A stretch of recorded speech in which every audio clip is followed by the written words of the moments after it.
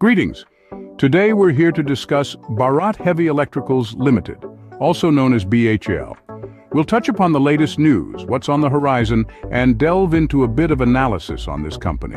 Recently, BHEL has been the talk of the town. The company has bagged an impressive order worth Rs 10800 crore from the Nuclear Power Corporation of India Limited. Moreover, BHEL has also given a final dividend of Rs 88 crore for the fiscal year 2022 to 23 to the Government of India.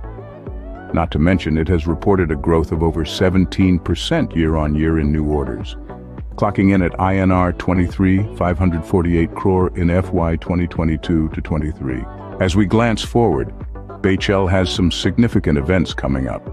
Notably, the company will be releasing its Q4 2024 earnings on May 27, 2024. This is certainly an event that investors and stakeholders are eagerly waiting for. Moving on to the technical analysis, BHEL's stock price has exhibited some intriguing trends. According to TradingView, the summary of BHEL is based on popular technical indicators like moving averages, oscillators, and pivots.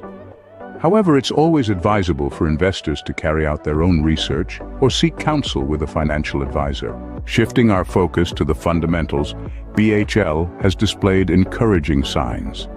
The company's book value has been on an upward trajectory in the past three years. However, the price to intrinsic value of 28.97 implies that the stock might be overvalued. On the brighter side, the company's net sales have seen a growth of 10.15% year on year, and it has reported a net profit of Rs 452.17 crore. To sum it all up, that's the latest on Bharat Heavy Electricals Limited. Keep an eye out for more updates and remember, Investing in the stock market comes with its own set of risks. Always ensure to conduct thorough research before making any investment decisions. Thank you for your time. Bye.